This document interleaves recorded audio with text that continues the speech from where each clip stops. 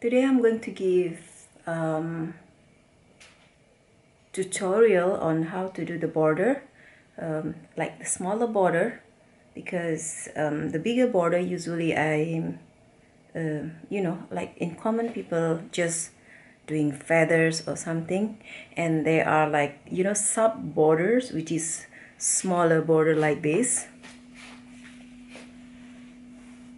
Like this so if I put it closer actually um like doing it flowers and leaf and flowers and leaf joining.